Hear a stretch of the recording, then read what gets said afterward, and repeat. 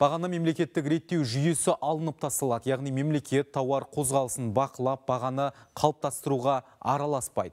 Бұл туралы Қосымайда жергілікті тұрғындармен кездесуінде сауда және интеграция министрінің бірінші орынбасары Арман Шаққалиев айтты. Толық нарықтық жүйеге көшу кезең-кезеңмен жүргізіледі. Бірінші кезекте азық түлікпен тұрақтандыру қорын жасақтау тәртібі өзгеретін болады. Енді әлеуметтік маңызы бар 19 тауардың 9-ы отандық өндірушілерден тікелей сатып алынады. Бұл мақсатта үкімет 100 миллиард теңге бөлді.